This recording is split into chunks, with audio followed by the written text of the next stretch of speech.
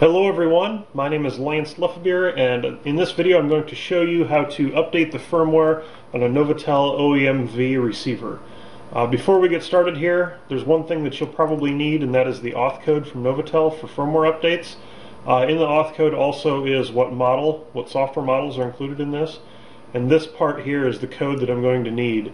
Um, but that code is only valid on this receiver and it includes these models on this firmware. So this info you'll have to have ahead of time before you get started, or you can install the auth code later, but it may not be usable after you do a firmware update before you do the auth code, which is kind of like the software license for the receiver. So the first thing we need to do is go and get the, uh, the firmware. So we're going to go out to novatel.com and download current firmware, which as of today is version 3.900. So that's under the support site. And I want firmware and software. Click the right thing. Firmware and software and manuals. On this page, firmware and software, we're looking for product updates. So I click there.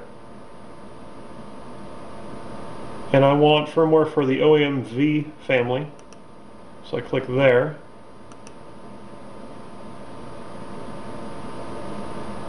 And we're looking for the OEM V firmware, the OEM version, version 3.900. Click on that to download. And while that's downloading here, I'm just going to minimize this. Now my receiver is already connected to this computer, but uh, you'll want to confirm that you can connect to the receiver through a serial port. And this does have to be a, a wired serial port, not a Bluetooth wireless connection. So I'm going to open up the configuration software and just make a connection to it to confirm that I do have the right receiver.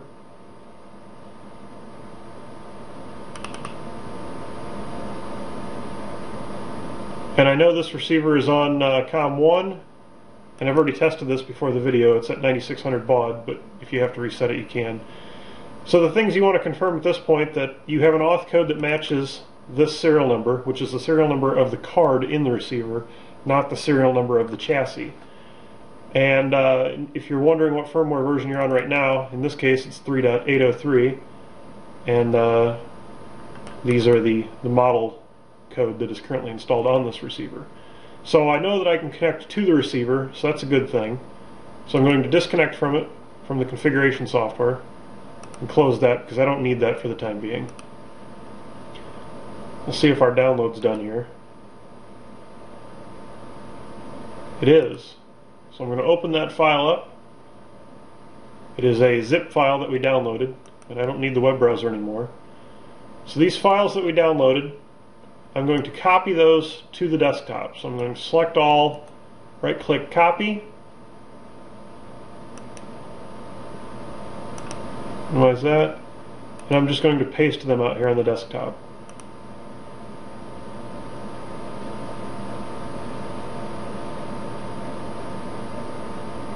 Alright, so now that you have finished extracting those files to the desktop, we're going to open up WinLoad and we're going to use it to send that 3900.hex file to it. 3900.hex is the firmware, WinLoad is the program we're going to use to do the firmware flash. So with that open, we're going to go to Settings, COM Settings, and you want to confirm that your COM port is the appropriate port to connect to your receiver on.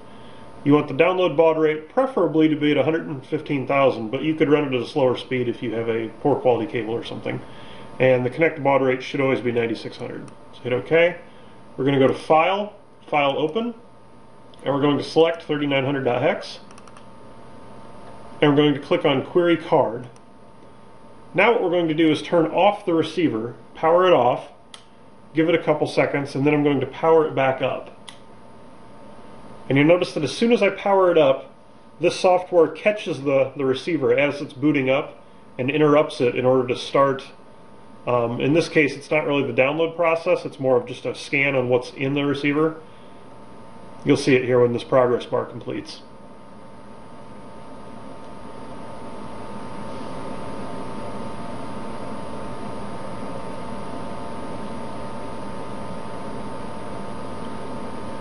So it finds a bunch of information about the card and it fills in some information over here. Uh, the PSN is that serial number of the card. So now what we want to do is go to write flash. And again, it's going to search for the card. So this time we're going to turn the receiver off again, give it a couple seconds to completely power off, and then power it up again.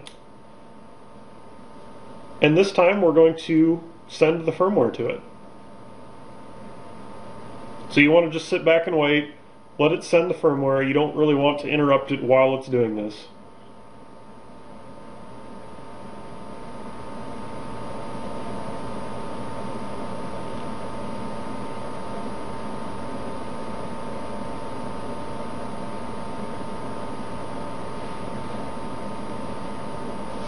All right, the authorization code, that was on that desktop, which of course it doesn't want to let me get to right now.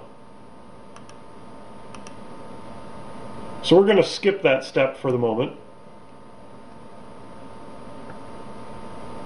Ideally, if you have the authorization code on the clipboard of your computer, then you can just paste it in there real easily and have it send that as well.